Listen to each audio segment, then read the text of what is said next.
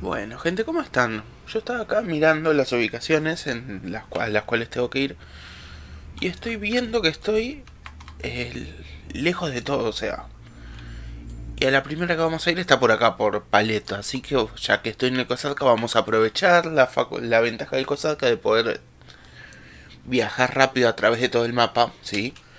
Y vamos a ir a Paleto, ¿sí? Así ya arrancamos rápido con esto.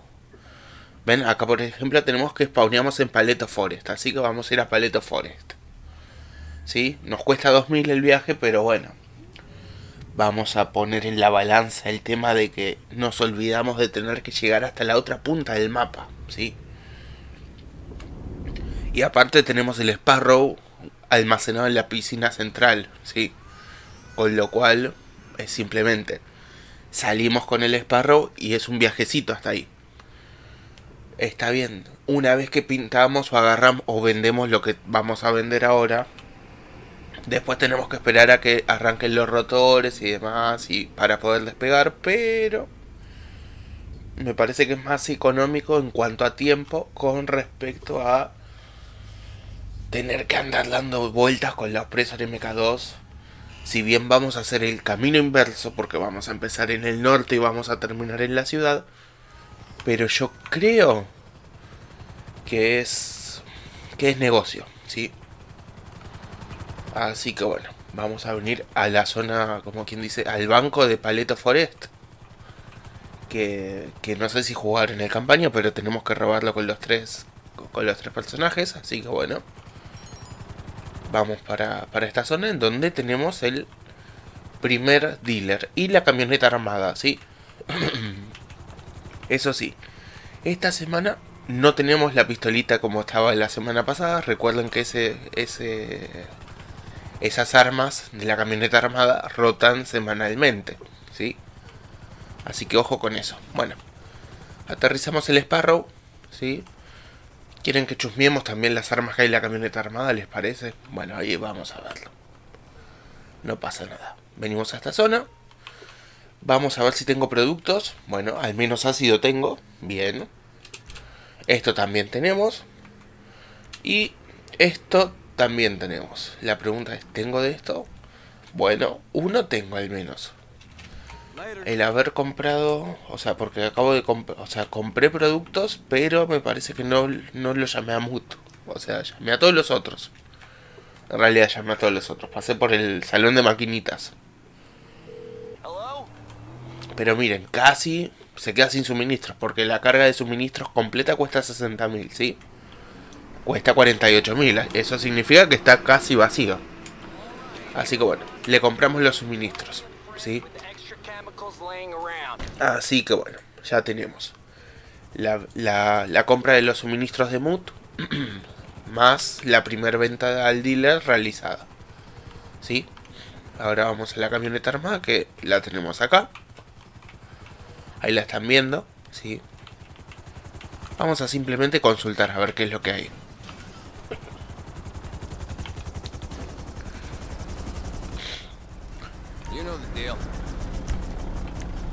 Ven, el lanzacohetes, ¿sí?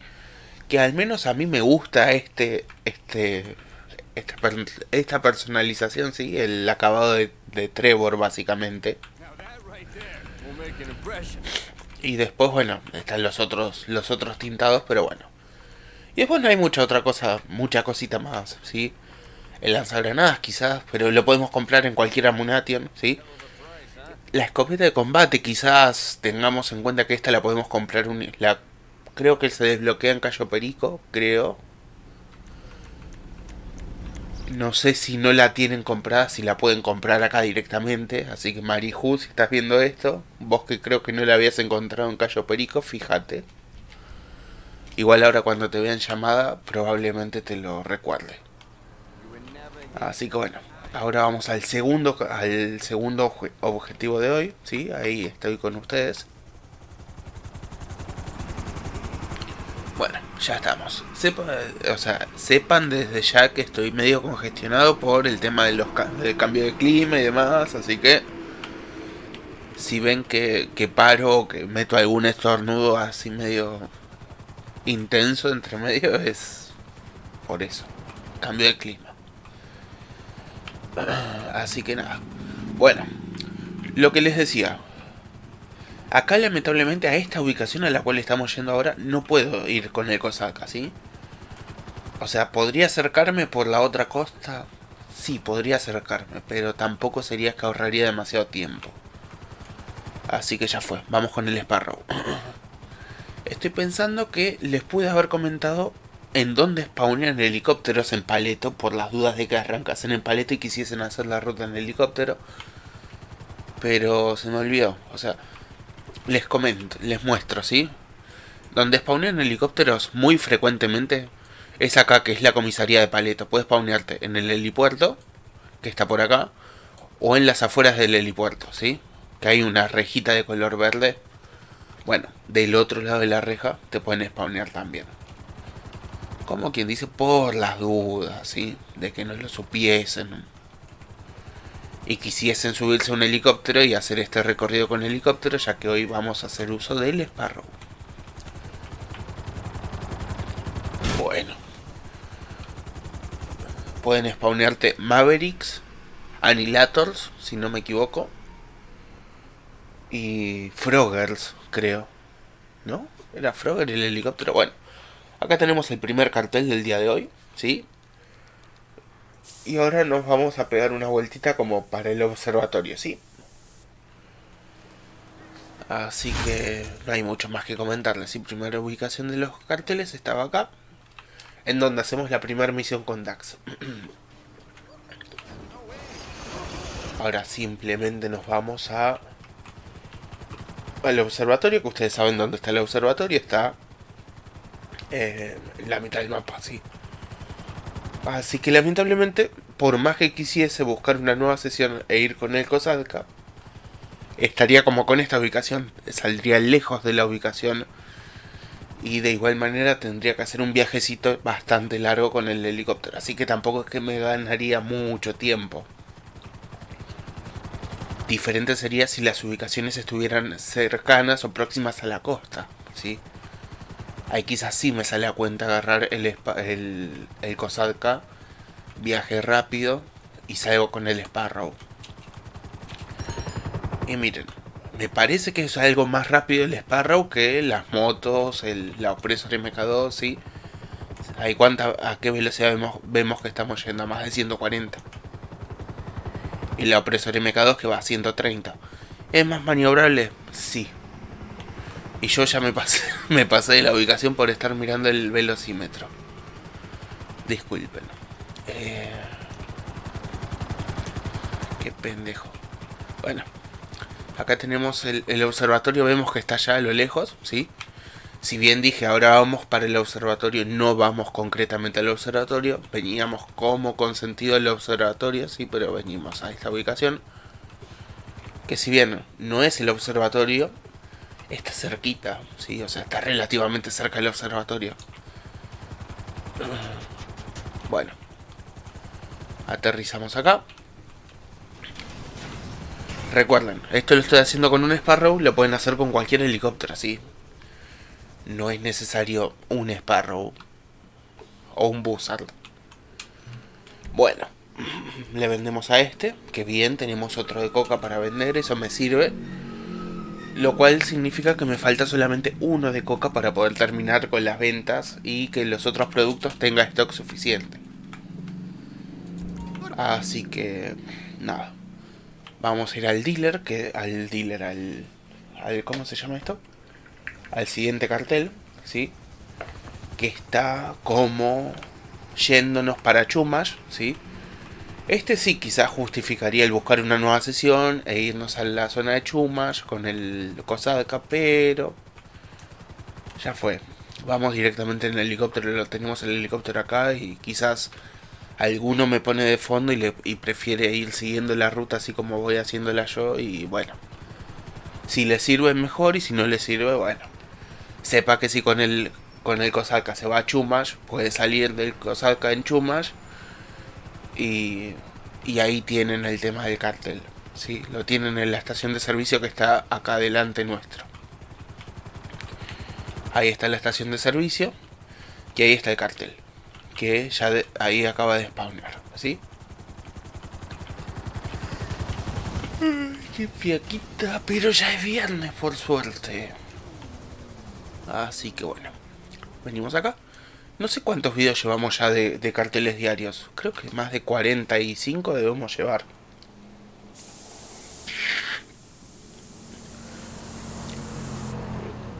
Con lo cual, tengamos para tener más o menos una idea, son que a 100 mil a 100 mil de dinero por día, que son 4 millones y medio, 45 videos. Para hacer que solamente llevan que poco más de 10 minutos ir a las ubicaciones, si están cerca, yo creería que es negocio, ¿sí? O sea, 4 4 millones y medio, 9 millones si lo hacemos en los dos personajes todos los días. O sea, no, sé ustedes, pero yo creo que para, para lo que implica ir a las 10, a las 5 ubicaciones o 10 ubicaciones y lo hacen con los dos personajes, como lo hago yo, es un plus interesante que quizás un día solo no se note, porque son solamente 100.000, pero si lo hacen todos los días. Sí, el tema de los carteles estoy diciendo nada más, ¿eh? no los dealers, porque los dealers ya implican una inversión más grosa, que vendría a ser los negocios de motociclistas, el tema del laboratorio de ácido, el tema de invertir en, en suministros o hacer las misiones de reabastecimiento, ¿sí? Así que bueno, eso sí, involucra un poco más de tiempo o un poco más de dinero, pero si no tienen los negocios, yo creo que ya con 9 millones o 4 millones y medio, alguno de los tres negocios de motociclistas que necesitan se pueden haber se pudieron haber comprado ya.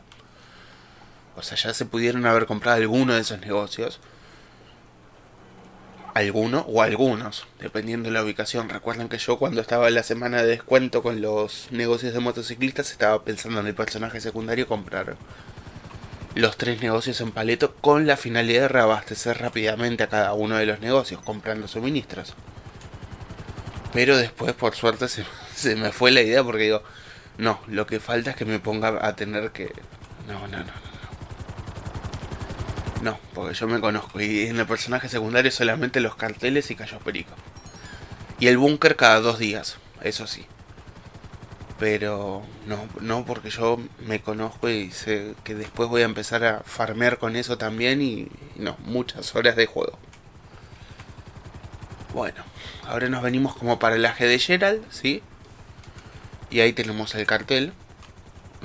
Que estamos viendo que el encargo de madrazo también está por la zona de acá de, de del barrio, por así decirlo. Así que bueno, vamos a ver a dónde nos toca el encargo de madrazo y Karma nos pide o no. Recuerden que esta semana ya está pagando normal, ¿sí? En lugar de 60.000, paga 30.000, ¿sí? Así que tengan eso en cuenta. Bueno, carteles 4 de 5. Y acá por suerte tenemos todo cerca, ¿sí? Ven, ahora que vamos a tener las ubicaciones eh, considerablemente más cerca que al principio del video, sí, sería más negocio tener una moto, algún vehículo para movernos, ya que la puesta en marcha es mucho más rápida que poner en marcha el helicóptero, después aterrizar el helicóptero, sí. Pero bueno, ya llegamos hasta acá con el helicóptero, vamos a usar el helicóptero, sí. Ahí lo estamos viendo, el último cartel. Lo vemos en esta zonita.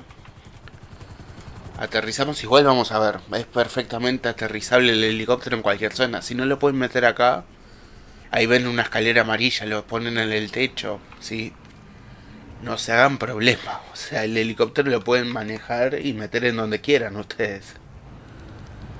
¿Sí? Así que bueno. Y ahora vamos al último dealer, que saben en dónde está el último dealer, ¿no? También está acá nomás, o sea, está re cerca. Ya tenemos el último cartel. Recuerden que nos dan un plus de 25.000 al pintar el último. ¿Hacemos el encargo de madrazo o lo hacemos después? Lo hacemos después por las dudas de que, porque hay que perderle a la policía. Bueno, vamos al dealer que lo tenemos acá.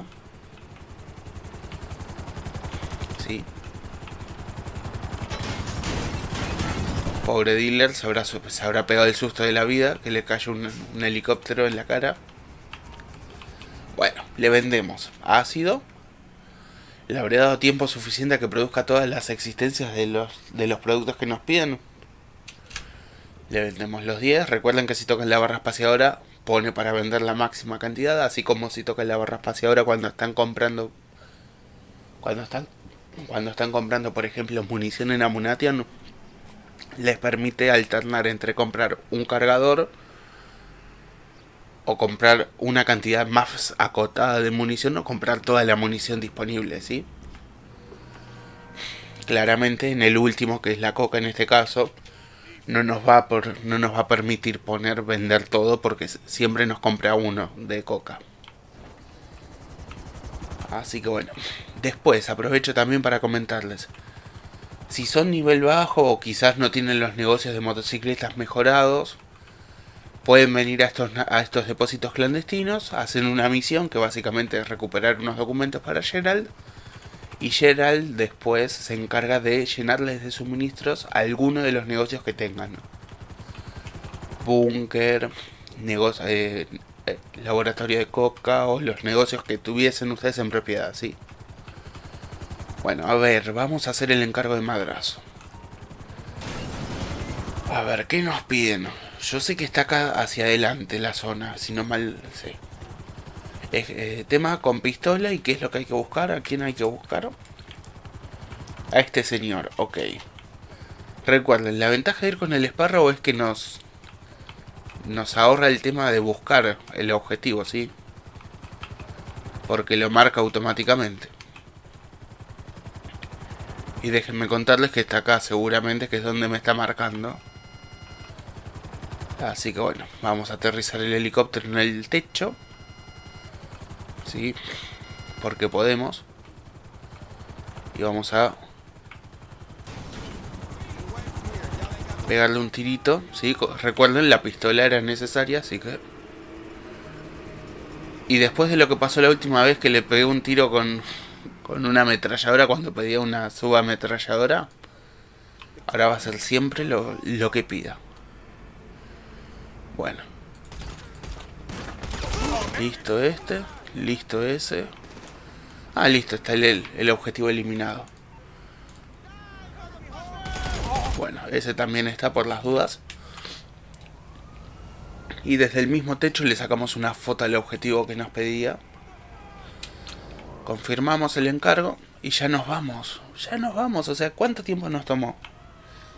Nada, y ahora nos vamos al aeropuerto internacional de Los Santos porque claramente ahí tenemos algo que, buscar. Ahora lo único que hay que hacer es alejarnos, no hace falta ni que nos ni que perdamos a la policía. Listo. Ven que nos llevamos 30.000. No son los 60.000 de la semana pasada, tampoco son los 40.000 de la semana pasada si fracasamos, porque vamos a ver. Si es una base de 30.000, ¿cómo te van a dar 40.000 si fracasas? No tiene mucho sentido. Si fracasas te dan 15.000 esta semana. Que es lo que te dan habitualmente, ¿sí? Así que bueno. Y ahora ustedes dirán, ¿a qué carajos venís al aeropuerto? Si ya buscaste, si ya mostraste las 5 ubicaciones de los carteles, las 3 ubicaciones de los dealers. Y bueno, ya que estamos, falta el naufragio que está en la... acá, por esta zona está, ¿no? Sí, está por esta zona. Ahora no sé si está acá. ¿Ahí lo están viendo? Yo ya lo estoy viendo. Bueno. lo vimos tanto que lo, chocamos. En fin. Eh, esperen que me está costando aterrizar. ¿Sí? Listo, lo dejamos acá el esparro agarramos el naufragio, que recuerden el naufragio representa un 25% más de dinero con respecto a solamente pintar los carteles y tampoco es algo muy imposible de encontrar, ¿sí? O sea, no tienen que hacer ningún tipo de misión para que les hagan los naufragios. Así que yo les diría que aprovechen. Sí, así que bueno, ya que estamos acá vamos a ver las ubicaciones de todo. Arrancamos por las ubicaciones de los carteles, ¿les parece? Por más que hoy arrancamos con un dealer, bueno. Ubicaciones de los carteles. Las tenemos. Un cartel acá, ¿sí? El primer cartel, recuerden que estaba acá en la tiendita. Después, el siguiente cartel en la estación de servicio que está por esta zona, ¿sí? En esta estación de servicio. Más concretamente sobre esta pared, ¿sí? Que estoy acá ahora situado. Después, el cartel que le seguía estaba por acá por el muelle. Creo que es esta pared, sí, esta pared, sí. Eh, después a dónde más nos fuimos. Después nos vinimos al centro, al centro. El centro es este, se los presento, ¿sí? Zona del Maze Bank. Nos vinimos a esta zona, al, al, al mercado de Gabriela, o de... Sí, de Gabriela creo que es. A esta zona, que recuerden les dije, la G de Gerald. Y después terminamos en esta zona. Sí, o sea que estos últimos, estos últimos, estas últimas, estas últimas ubicaciones, mejor dicho, estaban relativamente cerca una de la otra. Así que bueno, nos vinimos acá, que recuerden estacionamos el helicóptero acá y el cartel estaba situado acá. Y esas son las cinco ubicaciones de los carteles del día de hoy. Ahora, ubicaciones de los dealers. Recuerden, el primero lo encontramos acá. Eh, ¿Dónde lo encontramos? Acá. ¿Sí? Abajo, acá dentro de, de este complejo de apartamentos. ¿Sí? Después, recuerden que la camioneta armada, por las dudas se los comento, estaba por acá, ¿sí? Igual vamos a ver, desde donde estaba el dealer se veía la camioneta armada y su ubicación, ¿sí? Así que tranquilos. El segundo dealer estaba cerca de donde yo les dije, vamos para el, para el observatorio. Si bien el observatorio está relativamente lejos, ¿sí? Desde acá no van a ver la ubicación del dealer. Pero era como para darle un sentido al vector que iba a seguir desde acá. Así, así que dije, bueno, vamos para el observatorio. De hecho vine por acá y cuando y me di cuenta cuando estaba por acá, así que tuve que retomar, bla bla bla. Pero bueno, está por esta casita, ¿sí? Está acá, el segundo dealer al cual acudimos. Después, el tercer dealer estaba acá. Recuerden que vinimos al cartel número 4, el cartel número 5, ¿sí? Y después le pegamos un pequeño infarto al tercer dealer que estaba por acá. Que está por acá, ¿sí? Y después vinimos a esta zona, que es donde está el naufragio, ¿sí? Así que si alguno quiere 25.000 extra por simplemente tocar una tecla, pueden aprovechar y se vienen para acá, ¿sí? Y ya estamos básicamente con eso y yo voy a aprovechar ahora para, eh, ya que estamos, ¿sí? Preferencias voy a aprovechar y vamos a vender un vehículo porque me quedé sin lugar, ¿sí? Y necesito un lugar para buscar alguno de los vehículos que hay esta semana. Así que... Permiso. Me soné con el micrófono abierto, ¿no? Sí. Bueno, sepan que eso es lo que les decía del tema de la congestión nasal. Bueno, Venimos acá y lo que vamos a hacer va a ser vender el Champion. No sin antes revisar los vehículos que hay. ¿sí? Me gusta, me gusta que nos podemos quedar el vehículo ese. Que en su momento yo lo compré. ¿sí? De hecho, vamos a ver. Nos podemos quedar con el Albani este, el Albani Frankenstange. Por, creo que son 20.000 o 10.000, ¿sí? El tema es que... Hmm, se vende por 336 mil. La pregunta es, ¿quiero quedármelo por poco dinero? Siendo que ya lo tengo. Yo lo que creo que voy a terminar haciendo va a ser conservando este, que me va a salir relativamente más barato, y el otro que me salió más caro en su momento, porque claramente, por más de que haya estado en descuento por las fechas que son, sí, que estamos en, en, en el mes de Halloween, vamos a ver si sale. ¿Estaba por esta zona o no? Acá no está. Pero por cierto, si quieren el coche de los cazafantasmas, está en oferta, ¿sí? Entonces está acá el Legendary. Nah, no te la puedo creer. Che, ¿dónde está? ¿Qué es un...? O sea, es un muscle. Pero acá no está. Estaría bueno que hubiesen puesto algo para insertar por nosotros mismos los nombres y verlo. Porque estoy viendo que no, al parecer no está acá en la tienda para comprarlo. Y yo les quería mostrar el precio del Franken 445. Entonces, si están esos, tiene que estar el otro. O sea, Está este, está este, y no está el otro. No lo puedo creer. ¿Dónde está el otro? A ver, especiales. Que estén especiales tampoco. Destacado tampoco. Dos puertas no es porque es para... Ah, sí puede ser dos puertas.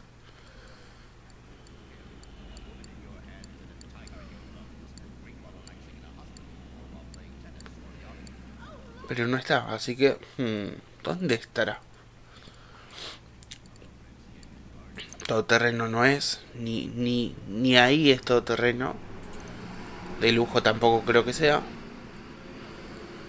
Oh, qué raro, no lo, no lo estaría viendo. El, el Legendary. Motocicletas no es.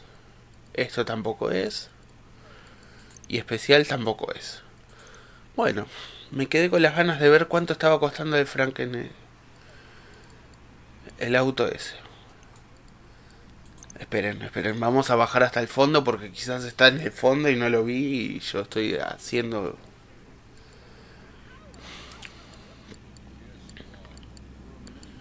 No, no, lo estaría viendo. Porque en Watstock no creo que esté. No, que va a estar en Watstock.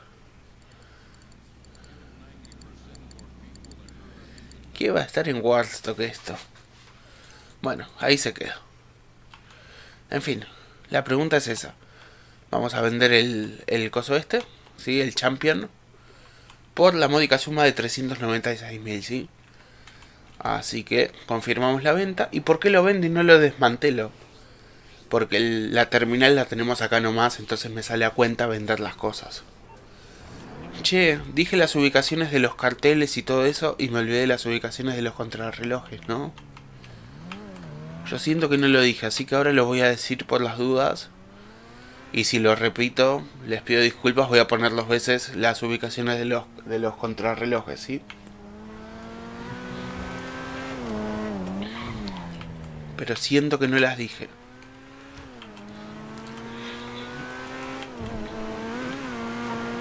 Y recuerden que ahora una vez que el vehículo está en la calle, sí, o sea, una vez que el vehículo está con en este momento, en este trayecto deshuesadero terminal, el daño que sufra sí lo vamos a ver afectado a la hora de cobrar. No es así cuando, por ejemplo, estamos viendo, estamos haciendo el viaje eh, obtención del vehículo deshuesadero, ¿sí? Cuando es obtención del vehículo deshuesadero, podemos hacerlo pelota, el auto no pasa nada, no no sufre ningún tipo, o sea, sí sufre daño, pero no sufre, no tenemos ningún tipo de penalización a la hora de entregarlo. En este caso sí, es el daño se nos va a descontar de la ganancia final.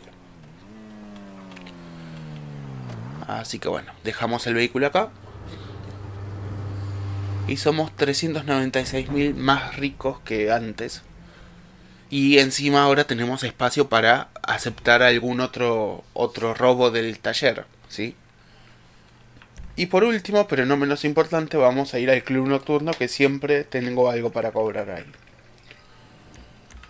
Sí, porque si no se me llena la caja fuerte.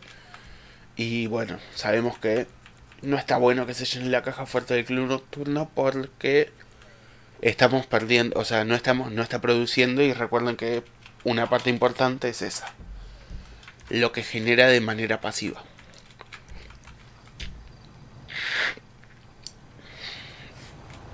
Sí, busca nueva sesión, no importa.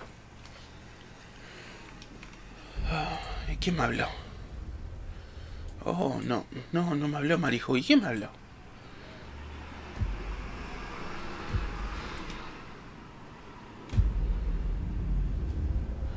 Bueno. Club Nocturno. 100.000, eh, miren, y la fama está casi bajando, o sea, con lo cual en la próxima hora no hubiese cobrado 50.000, hubiésemos cobrado 45 o menos. Así que sin por qué bueno que vinimos a, a cachusmear. Recuerden que si salimos y entramos con el modo pasivo activo del club nocturno, la gestión de club que te invita el club a hacer es 100% una de esas gestiones de eh, de expulsar a algún miembro del, del club. Así que sale a cuenta hacer esto. ¿sí? O sea, sobre todo si andan con poco tiempo.